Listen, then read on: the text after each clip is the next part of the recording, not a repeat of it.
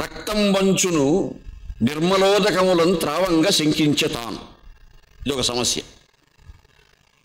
నిర్మలోదకములు అవి రక్తం అనుకొని తాగడానికి సందేహం కలుగుతూ ఉంది. అంటే సందే సమస్యలో ఎంత సమస్య ఉందో ఆలోచించండి. నిర్మలోదకములు ఒక పక్క అంటూనే అది రక్తము అనే భ్రాంతి ఎలా కలుగుతుంది? అందుకు మహాకవులు కొప్పరమ కవులు అద్భుతమైనటువంటి ఊహల పోహళింపుతో ఒక కల్పన చేశారు. ఆ కల్పన ఎంత మనోజ్ఞమైనటువంటి కల్పన అంటే సామాన్యమైనటువంటి వాళ్ళకి కాదు. మనస్సు ఒక ప్రసన్నభాజనమైనటువంటి స్వచ్ఛమైనటువంటి పవిత్రమైనటువంటి నైష్ఠికత సంతరించుకున్నటువంటి అంశం మనసులో ఉంటే తప్ప అటువంటి కల్పన చేయలేరు. యద్భావం తద్భవతి అని పెద్దలు చెప్పారు. మతి ఎంతో గతి ఎంత అని చెప్పారు. రక్తాంభోజ సమ సమాన పాణియగుచున్ రంజిల్లు బింబోష్ఠి.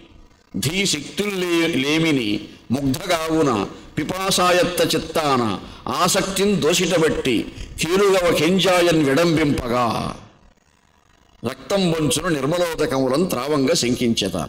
ఎంత గొ ఎంత గొప్ప కల్పన అండి ఒక అమ్మాయి ముగ్ధ అమాయకురాలు. ధీశక్తులు లేమిని కవులు వారి పూరణ సమర్థించుకోవడం కోసం ఒక పూర్వరంగాన్ని ఎంత గొప్పగా సృష్టించుకుంటారో చూడండి. అందరూ అలా అనుకోలేరు. కొంత తిరిగితేట్లుంటే గుర్తు గుర్తిస్తారు విషయాన్ని. ఆ అమ్మాయి అమాయకురాలు ముగ్ధ.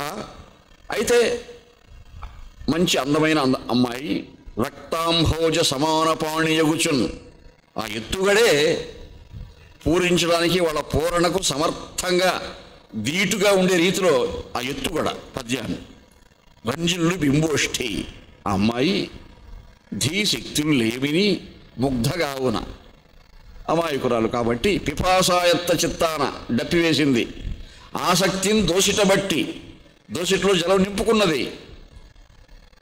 ఆ దోషుళ్ళు చేతులు కేలుగవ రెండు చేతులు కింజాయన్ విడంబింపగా.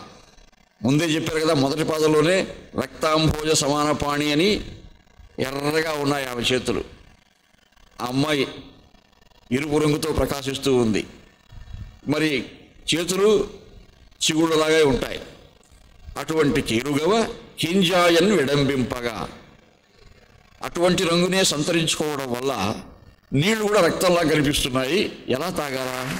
ఈ రక్తమా నీళ్ళ అని అమ్మాయికి సందేహం కలుగుతుంది.